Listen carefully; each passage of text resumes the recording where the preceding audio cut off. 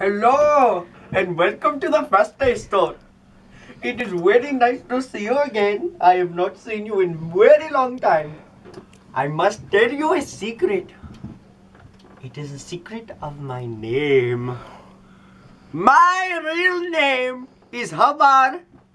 But that is all you are going to know because I haven't come up with a last name yet. Okay, thank you. Please don't ever come again. I am just kidding. You can come whenever you want. Have a very good day. Goodbye.